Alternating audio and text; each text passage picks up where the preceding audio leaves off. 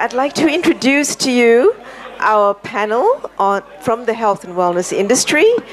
We have um, Sacha, Professor Salzberg, um, right here in the, in the first position. And we've got Julia, who is coming from the UN. Everybody here is from the health and wellness industry. We've got Tian, who is coming from China and a background in traditional Chinese medicine. We've got Andrea Parodi here, um, who is coming from Italy and a producer of uh, refined products. Um, uh, sorry, unrefined. Excuse me. Unrefined oils, products, and foods. Um, sourcing ingredients from all around the world. We have got Marsha, who has um, opened up medical centers in Russia, and she's going to talk to us also about technology. And we have uh, finally uh, Daniel, who's coming from Spain. So we've got an international group of people here. Daniel is going to contribute to us a little bit from about what he produces in his company, um, wellness ingredients, products, and also education. Our focus today will be the SDG um, health and well-being. Uh, our our uh, panelists are going to talk about how they can, from their different parts of the health and wellness industry, contribute to improving um, the state of health and well-being in the world by 2030. That's a big goal, but I think it's doable. Um, if I can ask each and every one of our panelists to introduce a little bit about the work they do, uh, starting with Sacha, please. Uh, Marta, thank you very much for the introduction. Also, thank you to the organizers of the Caspian Week for inviting me. Uh, my name is Sacha Salzberg. I'm a cardiovascular surgeon. I'm a professor at the University of Zurich for heart surgery. Um, my daily work is composed of uh, cardiac surgery, focusing on arrhythmias, but I also have a big activity in hu humanitarian work, which is non-profit. The Eurasia Heart Foundation is the foundation I'm presenting here today, which does work all over the European, Asian uh, part of the world. And I would like to share with you some ideas also on how a for profit clinical setting in an industrial country like Switzerland can also help uh, drive non profit. Uh, development and translation of knowledge and science into the healthcare industry to really bring state of the art therapies to the people uh, in the field and not only go there on humanitarian missions. So that's something I would like to share with you today, and thank you for having me. Thank you, Sacha. We're moving on to Julia, who's going to introduce the work she does. Uh, thank you very much. My name is uh, Julia Andreeva. I work for the United Nations Development Program and I support um, a 2 billion health portfolio um, at the organization in Geneva and in New York. Um, I focus on risk management, partnership, and um, legal advice. Uh, my team fights the epidemics in the most challenging countries in the world, such as Afghanistan and Sudan, and we also work quite a lot in the greater Caspian region. Um, just to um, sort of illustrate the relevance of my work as we speak, WHO is having a meeting on the new Chinese virus. Who has heard about the virus that is coming from China? Yep, exactly. Uh, it's uh, WHO is considering whether to call it a global health emergency. And my uh, organization, as the operational arm of the UN, we will be the first responders on the ground uh, dealing with the, uh, with the issue. And actually, one of the main concerns for the spread of this virus globally um, it's an interesting piece of trivia, is the celebration of the Lunar New Year this coming weekend because uh, many Chinese are expected to travel to other countries to celebrate um, the, the new year. And this will mean that actually the virus is likely to spread even faster than we anticipate. Thank you. Thank you, Julia. I'd like to introduce Tian, who's coming from China? From China Vibers. yes, I'm gonna stay in Switzerland for Chinese New Year. yeah, I come from China, and uh, before I studied my MBA in Business School Lausanne, I saw my professor here. He's a panelist too. And now I worked in the Infinitus uh, China Company Limited, which is a large-scale health herbal product, which is developing, producing, and distributing Chinese herbal health product all over the world. We have 32 uh, branches in China 7,500 exclusive stores in China. Also, we have companies in the Southeast countries like Thailand and uh, Philippines, Singapore, uh, Malaysia. Also, have uh, companies in uh, Canada, and we are about to open the market in the Kazakhstan Russia. Mm, and my my role in this company is this, is senior operation director, mainly responsible for sales and new market exploration. Thank you. Thank you, Tian. I'd like to introduce now Andrea. Good evening. Uh, I am a founder of Parodi Nutra, who is a company who produces specialty oils, uh, uh, vegetable oils for health, you know, for food and uh, uh, cosmetics. And because we are here for health and wellness, uh, these are ingredients that we source all around the world. Uh, and uh, we are here to, to help and provide, you know, the biodiversity oils uh, that are rare and almost uh, impossible to find today in the market. So. Thank you, Andrea. Now we will introduce Marsha, who will talk a little bit about the work she's doing. Uh, hello, I'm coming from Moscow and I'm co-founder of medical centers uh, WellCure and uh, uh, I will speak about um, increasing resistance to diseases, also about the prevention, because uh, according to the um, uh, American Psychological Association, chronic stress is now linked to the um, six leading causes of death. So we have, we have to speak about it, how to avoid stress situations uh, in our life and uh, burnout syndrome. Thank you very much. Thank you, Marsha. We've got now um, Daniel, who's going to introduce himself, the work he's doing through his company. Okay. Um, good evening, everything. Um, I'm Daniel. I'm a chief strategy officer for Gibiomed, uh, the basis in, in Spain. Um, we made uh, three areas in specific. Uh, medical device with everything is patent in USA, Japan, Europe, uh, focus in the cryopreservation with animals and uh, organs. And the second area is digital health with patent too in um, cardiovascular, uh, cardio warning, uh, plus uh, blockchain solutions for the um, data patients. And the three is the pills for nutraceuticals, the healthcare and wellness. But uh, this is very important, but um, uh, we discovered the um, hydroxytyrosol is a polyphenol, is very antioxidant, and this is, uh, I think, is uh, the revelation in these uh, years. Thank you, Daniel.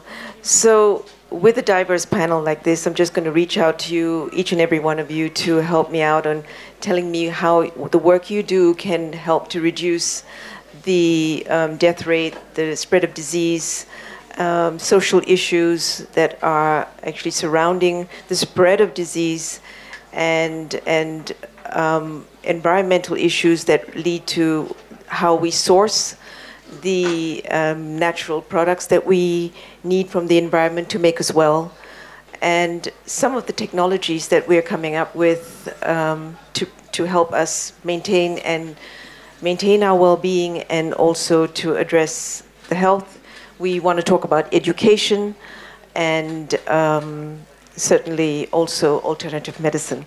So I'm also coming from a background of wellness. Um, my background is Ayurveda, and um, so I link very well with uh, Tian. And because we we work with traditional medicine, and um, it's more about lifestyle and or, and really management of well you know managing your health and not waiting till you get sick before you do something And it's, um, you know, we at Caspian Week, we've been talking about energy, and human beings are significant energy forces in the planet today that need, um, need to actually, we need to invest in our health and well being. So, first, I would really like to talk to Julia because I think that you actually have a, a, very good knowledge on what's happening in the greater Caspian region. And you talked to me about the social issues surrounding how the spread of infectious diseases, diseases are happening because of the social issues and stigmas that surround um, certain unpopular diseases in uh, certain cultures. HIV, uh, drug abuse, and it is uh, killing our youth. And if we can bring, shed some light on such an important subject, please, Julia. Uh, thank you very much. Uh, first of all, it is true that we're witnessing the uh, emergence and greater diversity, excuse me, of um, viruses and infectious diseases all around the world, and there are at least five reasons for that the first one is overpopulation. Um, viruses uh, grow much stronger, they get spread much faster, uh, and they, they travel. Second one is globalization and accessibility of travel. We talked about the Lunar New Year, how many tourists will travel to China, how many tourists will travel out of China. This will immediately spread the, the virus around the world. The third reason is climate change, actually. Melting ice is releasing a lot of um, poison bacteria and viruses that were contained for millions of years. Uh, a couple of years ago, there was an outbreak of anthrax in Siberia because of the unusually warm temperatures. So we have to tackle these challenges. Um, and uh, also conspiracy theories. Uh, there are, are, now hoax, bogus reports circulating around the internet that supposedly link vaccination to diseases such as um, uh, uh such as autism, and there are more and more uh, parents who choose not to vaccinate their children which means that many diseases that we won over a lot many many years ago are actually coming back and we're seeing uh, outbreaks of uh, infections such as measles or polio or rubella uh, again all around the world and then the challenge that is specific to the greater Caspian region um, is actually um, related to conservative policies, uh, a greater role and involvement of the church uh, in civil matters, and uh, increased focus on criminalization of certain behaviors. And the specific example in this area is HIV. Uh, many of us think that this is an African problem, that it doesn't concern us. But actually, this is wrong. In Africa, the numbers are declining. HIV, we could say, is contained because we can treat it and it's not, it's not on the rise. However, the only region, the number one region where HIV is rising at an alarming, alarming rate is the greater Caspian region and Central Asia. And the leader in this respect, I'm sorry to say, is my own country. That's Russia. We're talking about a 10-15% increase every year. This means that 250 people get infected every day with HIV. And these are only the detected official numbers. How many unreported cases there are is really hard to estimate, but we're talking at least two, three times more cases. And the leading causes to this are, first of all, criminalization. We criminalize sex work, we criminalize drug use, we criminalize uh, homosexuals, this marginalizes these already fragile groups of populations. They go underground, they use unsafe needles, they don't use contraceptives, they don't get tested, they don't get treatment. So if you think that, that, that the government is doing a good thing by criminalizing drug abuse, no, it is killing your children. the second, this, the, the second leading cause for this is the absence of sex education. And here the church is playing a, a big role we are no longer teaching our children about reproductive health, about the use of, uh, of contraceptives, and this poses an immediate, immediate and serious health threat uh, to, to our youth. The third reason is medical privacy laws. Uh, not many of you know that uh, most of the countries in the greater Caspian region have passed exceptions to the medical privacy principle, which actually requires doctors to report uh, drug users, for example, or sex workers or homosexuals to the authorities. This again drives people underground and they don't uh, uh, get tested, they don't go to doctors. Um, and another reason is that this is simply not a priority. There is no education about HIV. How many of you knew that this is a real huge, alarming health threat in the greater Caspian region, that it is the only reason, the, the only region where HIV is on the rise. 10, 15% a year, 250 people a day get infected. It is the only region in the world where HIV is rising. Not, not many, uh, I'm sure. And this is simply not treated as a priority. There is no education, there is no awareness. There is no treatment. There is a stock out of medication. Even when people get tested, they have difficulty accessing medication, and this is not free of charge. This, this again means a spread. And another alarming fact uh, that it is not contained to certain fragile groups of population like drug users or sex workers or homosexuals. We see a, re a reverse dynamic. Only 1.5% of infected of infections come from homosexual intercourse. 48% of cases come from heterosexual intercourse.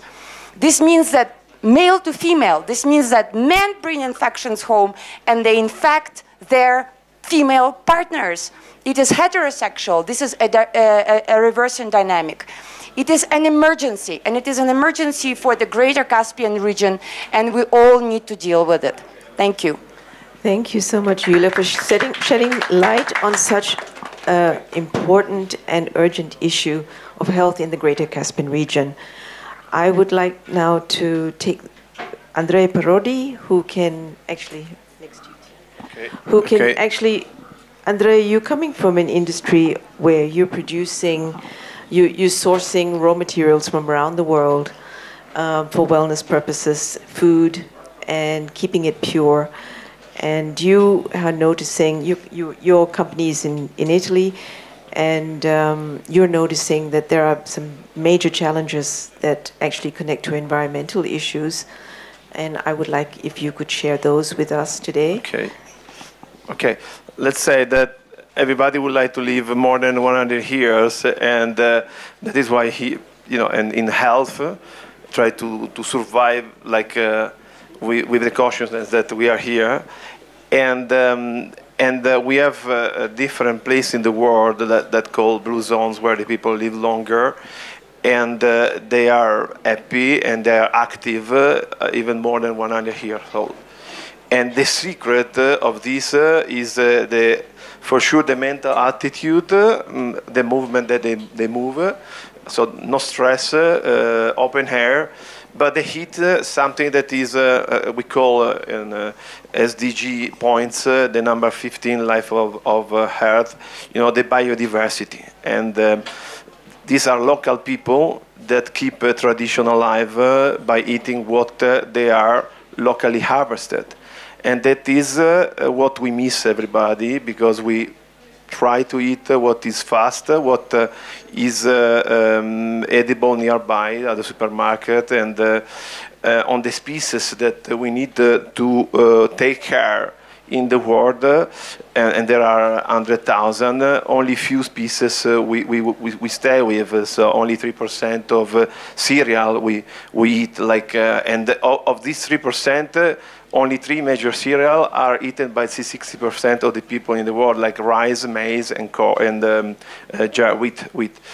And so, um, what we see, even in our industry where we produce specialty oils, uh, even the clients are normally uh, stocked with, uh, with the standard uh, commodities. So, sunflower oil, olive oil. And uh, there are thousands of seeds. You know, the seeds are, are the life. There is no life uh, with the seeds. and and the seeds are important for, for us because they are source of proteins and fibers and fats. And these fats uh, need to be the most possible difference. So again, how many of you knows, you know, vegetable oil? If we talk about, maybe we speak about palm oil, like again, olive oil, sunflower oil, uh, canola oil, uh, and uh, whatever, you know, maybe a bit of avocado or grapeseed oil. But all these oil are fully processed. Like today, everybody say, ah, I need to eat less refined product, like you know, less processed. And um, so what we start to work with, uh, uh, especially uh, we collect seeds from all around the world. And especially we collect those seeds that are coming from those countries. You have some in Caspian region, but they're, they're neglected species like baobab, in Africa, or uh, sea buckthorn, that is a special shrubs that grows uh, in the Alpine region, where they are source of vitamin C and uh, nutrients. So we are committed to uh, collect those uh, uh, seeds or those raw material and make it turn in oil and protein and fibers. And by using, what are the challenges that we're getting, yes. we're facing to get to source all of these? Yes, the problem is that we don't we don't know that they exist. There is no information. So, in a world that we are all connected, uh, we normally eat what uh, is really easy for us, and that is a big problem. Not only because uh, by not collecting those biodiversity, we don't help the forest, you know, to to be alive because uh, we live in the towns, so uh, in the cities, and we more and more abandon the you know the inland, and these places are full of, of food and and uh, you know very you know biodiverse, so different species. So these ingredients uh, are important to us to survive more than one year, 100 years, and. Uh, and, and the quality of what we today is is really low so uh, uh, the, the target is really to be uh, linked together and to, to, to be also in a community like these people in the blue zone. They are different and they, they share information and, uh, and look after what you, you, you buy and, uh, and especially what, what you eat and, put, and even put in the skin. So unfortunately, uh, I cannot tell you the, the, the recipe now, but it's important by looking at the range of the oils that we have, uh, around uh, 65 uh, different uh, of uh, vegetable oils. You know, may, mainly you, you don't know maybe the, the, 5% of what we produce. And another story that I can share, like, um, because now it seems like it's impossible to do something. Uh, but um, I live in Genova. I don't know if you know, uh, but uh, it was one of the famous uh, uh, Marinara Republic uh, with Venice. And so we are Meccan since 100 years. And um, and in, in, Genoa, in the Liguria, where there is like a nicer coast, uh, we have a lot of mountains. And in these mountains, um, you know, in Italy we have a lot of hazelnuts, more in Turkey, but a lot of in Italy, the second place in the world where hazelnut grows. And, um, and there is a place nearby Genoa that they harvest hazelnut since 1000 here. And they are uh, the only one uh, slow food hazelnut in the world, uh, five species, and they are harvested by people that uh, are 85 years old. That I've been there before Christmas to, to, to, to, to, to say hello, and they were like a little house, you know, eating happy and, uh, and surviving the life. Uh, and I just uh, work with these people to collect this hazelnut and I made a spread like to help them. So you can do something, just uh, look around you and, uh, and see what uh, is possible. You know, that's Thank my- you. Thank you, Andre. Sorry. If I can pass the microphone to Sacha, because I'd like to talk about the work you do, Sacha, because it's, it's absolutely um, vital with your expertise and what you're doing in surgery, especially heart surgery, cardiology. You're actually taking that to um, developing countries, your know-how, and you're sharing that, and that's very important to the SDG um, of education and um, and empowering them to actually be able to look after what is actually killing a lot of people today in those regions. Please tell us about the work you do. Uh, thank you. First, I agree with Julia. The emergency on HIV is crucial. In Western Europe, however, we are seeing that HIV patients no longer die of HIV, they die of cardiovascular disease. Because HIV is now a risk factor for cardiovascular disease, in part due to the fact that we give uh, drugs to these patients who promote cardiovascular disease. So the work I do um, as part of the Eurasia Heart Foundation is we take teams of uh, heart surgeons, anesthesiologists, OR nurses, and we go to areas in the world where there is no heart surgery. We do this first with a humanitarian uh, idea in mind to go there to save lives, to operate children, to operate adults. I've prepared a couple of slides. I don't know if we can if we Please can do. show these. And um, so that's one part, that's a humanitarian part. The other part is so I'm speaking on behalf of the Eurasia Heart Foundation, and the Heart Rhythm Center in Zurich is the other, the for profit branch, which allows us to do this work. Next slide, please. It's non politic, uh, no politics involved. However, to get licenses, to be able to go to the ORs, we need uh, contacts. And sometimes we also have to bribe people so we can do our work. It's unfortunate. So we have funding challenge. The funding of these projects can be challenging because we have to know where the money goes, and that's a really crucial part. So what's the sustainability and the growth? Next uh, slide will show you a bit more. So now, uh, this is a small movie from the Eurasia Heart Foundation. We have uh, sound with it too, because we have nice music. Press play, please. It shows uh, some images from a recent mission we did in R.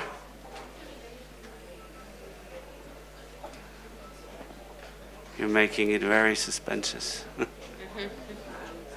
So on these missions, we're about uh, 10 to 15 people every time. So this is a logistical challenge to get everyone going. Uh, from the doctors, the nurses, anesthesiologists, we have to bring everything with us, all the instruments. We, we can't play the video. Okay, so next slide. Unfortunately. So to summarize, um, we have 120 people who are committed to the Eurasia Heart Foundations. We have done over 4,000 surgeries worldwide, uh, 21,000 patients treated, and we've spent 6 million Swiss francs in uh, funds, which leads to $350 million of worth created if we would have done these procedures in Switzerland. So it's, we're actually number one if we look at the countries, the hospitals, the missions, and the patients treated. And this on the right is the president of the Swiss Confederation, who is heading up, uh, who is our, a patron of uh, our foundation. So uh, we'd be glad to welcome you all. Eurasia Heart Foundation, you will find us on Google. Um, we're very uh, thankful for donations, but also thankful for some tips on places we can go next. Uh, also, interested uh, medical specialists who want to help us go further. But that's the one part: is bringing uh, medicine to the people who need it. Next slide.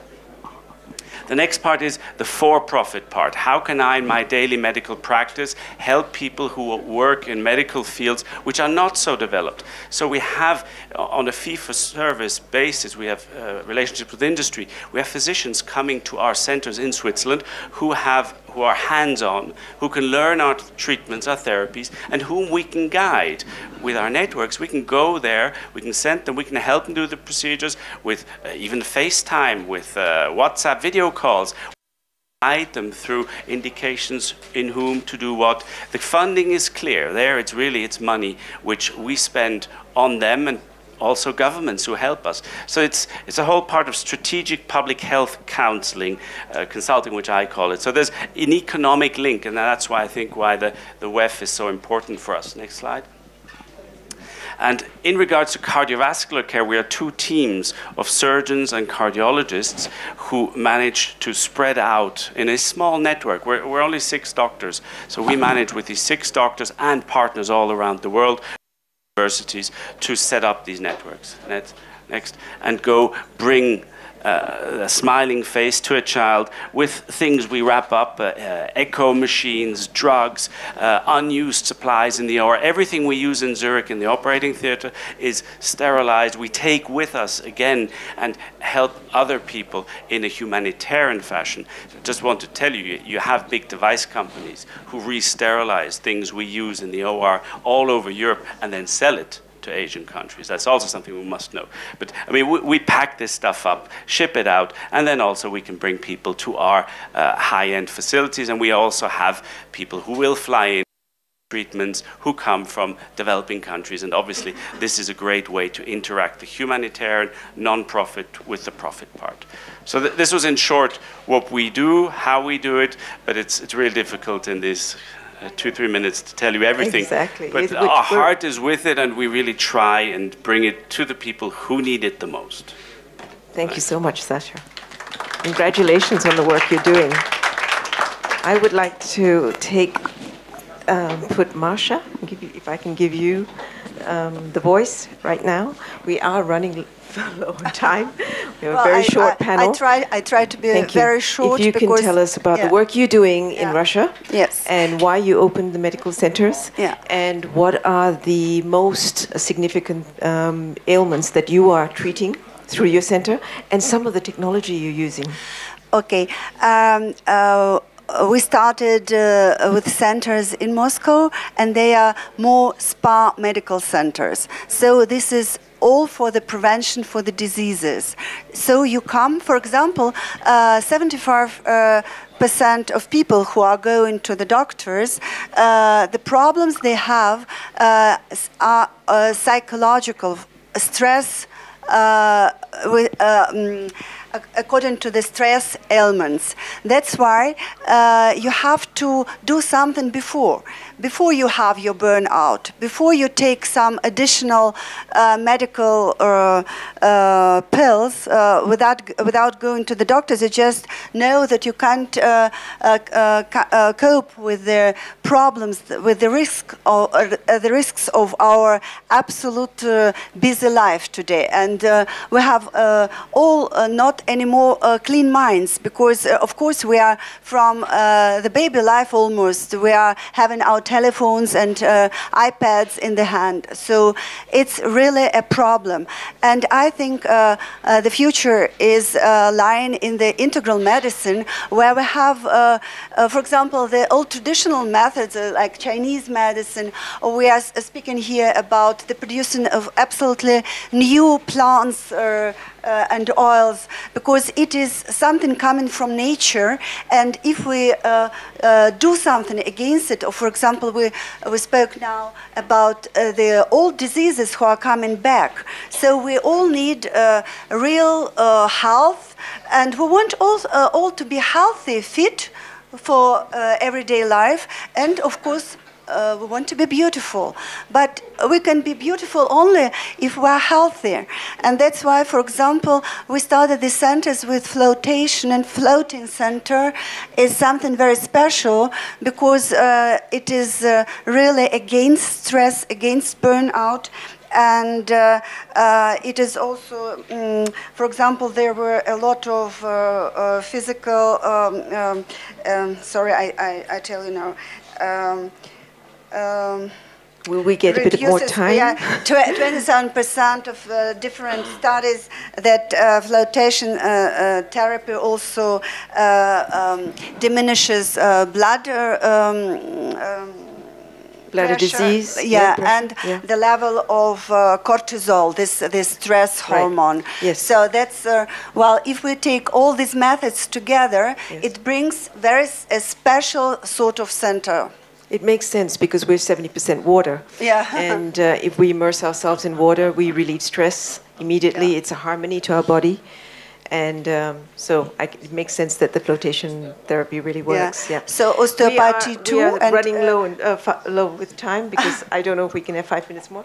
But if I can introduce still two more people, if I can go to okay, if I can go to Tian. Sorry, Tian, if you can introduce something about uh, um, Chinese medicine, traditional Chinese Chinese medicine to us, and also the herbal medicine that um, your company is producing. Okay, sure. Thank you. Thank you very much for having me here. It's really a great honor. Thank you, Shireen. And uh, I'm so happy to be here. But uh, you know, the first time I saw this topic, sustainability in health and wellness industry, I feel a little bit panic. You know, I, I'm, I'm, my role is responsible for selling. And uh, every day I contact with numbers and uh, the sales, revenues, and uh, how much money uh, we can earn. I'm sorry, my English is quite uh, basic. I, It's I don't know perfect. use the It's perfect. It's okay. Um, I don't know the fancy words and uh, and how much percentage raised uh, compared to last year, something like that. I I went through the list you sent to me, and it's it's like uh, some Overwhelming. yeah, it's really like by 2030, re- how to reduce the targets. third premature mortality from non-communicable diseases, or by 2020 have the number of global deaths and injuries from road traffic accident. I, I'm like, what can I do about this? I'm just doing sales or from from my um, my role and uh, what, what should I deal with it? And there should should be someone like Yulia from UN to handle this this very national level word. But on the second thought, I talked to Shireen and uh, Martha, and uh, they are so helpful, uh, supportive. And I feel like I just refreshed uh, about myself, what we do? And actually, we don't need to just care about the numbers. We have to relate it ourselves with all the goals. Actually, our, our company have the social responsibility department and responsible for all these things. And but, but uh, before I didn't think think about it how related how what I care about is the sales numbers. I'm sure I'm not the only one. Uh, I hope so. Um, but but how to engage ourselves? I just think you know I worked in a company to produce the Chinese uh, herbal health product, and in this panel I introduced myself. And today I met uh, people who said I met you yesterday. You just do some some herbal thing, and that's that's most people think of me. They don't understand what did I do, especially in China too although it's a traditional Chinese medicine, it's a pity that more and more people didn't realize how beautiful it is. It really works.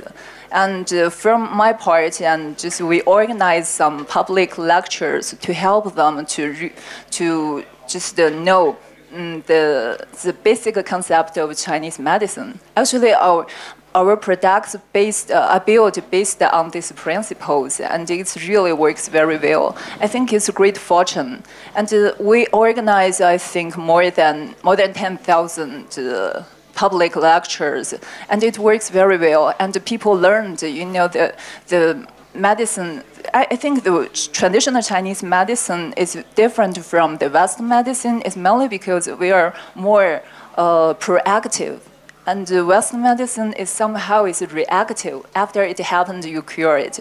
But it's really cost a lot of money. In China, the healthcare system is not covered very well, and so we, we have seen, you know, the, some modest, so some people from modest families, they saved all life the money and just for go to the hospital and they spend a fortune there. That's their life. So I think it's really good to to provoke a Chinese Chinese traditional medicine concept.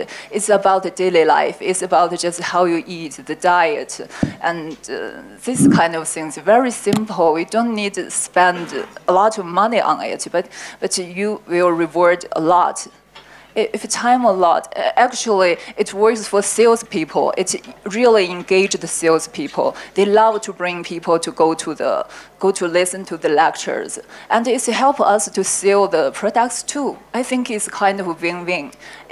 If we want to really engage the people, and we need to find some some point related to them.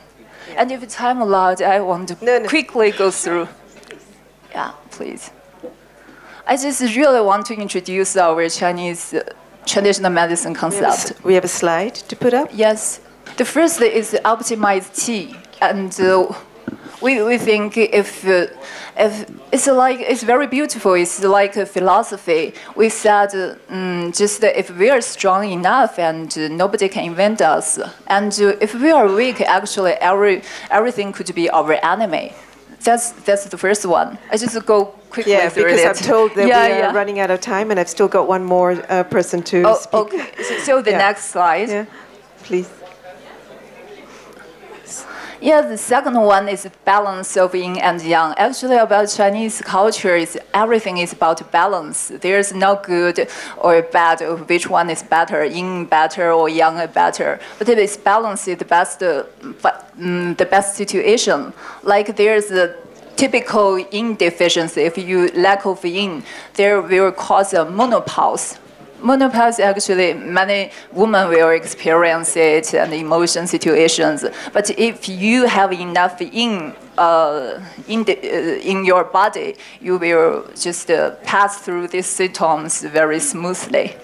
Thank and you. the third one, sorry, and this is five, oh, five elements. Uh, in, in the, this is quite the basic of Chinese cultures. Is uh, it can operate five organs, inner organs of our body, which cause re respond to five wood, fire, earth, metal, and water. And uh, all these uh, all these elements correspond to other elements uh, like the, the from the spring, spring, and uh, for example, like this is winter time, should people should, uh, for it could be beneficial for them to raise the kidney and to store a little bit. Don't exercise too much. Like I in Davos, it's very cold, and all the sleeves actually very narrow and uh, like needle. But spring and it's the season for for everything to grow. So like in California, the leaves are very big. Actually, it's, it's I related to, to, the yeah. sorry, okay. I have to give Daniel a quick moment okay, so that he can help us much. conclude here. Daniel, sorry about taking up the time. I have He's got a microphone. Uh, slide, please. And one slide up there, please. Uh, just yeah. it's a short uh, reflection, but uh, I talk in Spanish better. Um, Can we have the slide, please? The last one.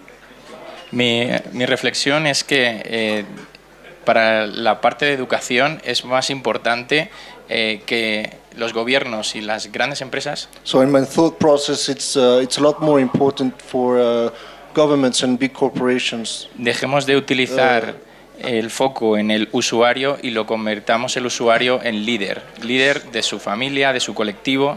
So actually, it's more about engaging the customer so that it's not actually customer, but it be, he uh, an ambassador. It turns a little bit what, what she said before, which is it's, it's, it's more about the lifestyle. It's, it's about taking leadership of, of, of how you do things. The, um, uh, this slide is uh, so the my country is the the best in the top, no? But uh, this is not is a casualty, but uh, it's a it's a fact about the Mediterranean food, and then the base is uh, oil olive, and then this is the, the more important uh, element. These elements have too much uh, polyphenols, and then I think is uh, with education and investigation is better for, for the new generation. But lo, lo que quiero decir con esto es que la investigación eh, So y la trying to say educación with this is consigue that, uh, eliminar los mitos y leyendas en torno a la actually eliminate the nutrición, en torno a la salud. Um, when it comes to uh, health, you can you can find uh, you know research that actually um, corroborates um, these results. And that's it. So, so, so it's basically an olive, um, and and one of the things that would join one of the panelists as well is that they're using um, uh, stuff that is not uh, used when it's processed. So you also deal with the waste, and uh, and and the waste is now uh, used. So on one side you eliminate the waste, and on the other side you actually take the nutrients from that and turn it into something that, that can be useful for, for healthcare. Thank you so much. I think that we have run out of time. It, if we can ask for another panel next year, because I think it's an interesting subject. It's the first time we've done this on. Yeah, we've got a question as well. So can we have your question?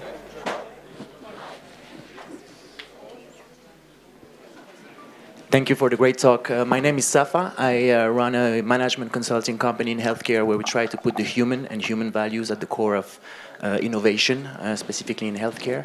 I have a question specifically for Julia and Sacha. I mean, the others, you had great contributions, but um, is there an opportunity to go beyond the so-called Robin Hood model, where we make money in the West to deliver uh, human societal value in the in the East or other regions of the world? Um, if yes, how should that be, and uh, do you think there's an opportunity for that? Uh, thank you very much. Great question. Actually, uh, one of our key priorities uh, is not just to deliver medicines and put people on treatment and then leave the country, but to build capacity. This is at the core of our mandate. We go in and we educate doctors and nurses and governments and their financial medical institutions. We improve their, uh, their systems so that they can do it themselves. We go in to help with an exit strategy so that when we leave the systems, the health systems are in place and can cope with uh, uh, uh, issues going forward. This is at the, at, at the core of our mandate. And we see an increasing number of governments, developing countries, who are approaching us with their own money with money that are coming from their national budgets and asking for help.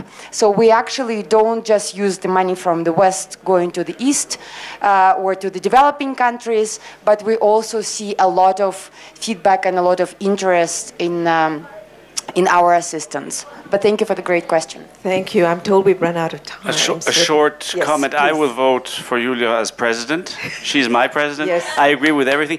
Thank Uh, you. One one important thing is patient, uh, human empowerment. Patients are becoming more and more aware of their own conditions, and this is something we can influence. Diabetes, too little sport, smoking, cardiovascular disease, mental health, all this we can go directly to the patients and get them involved, which will make them better, and they'll make the politicians spend the money on the issues which are important for them. Thank you. Thank you so much, Sacha. I think uh, we're going to have to wrap it up because the next panel's ready.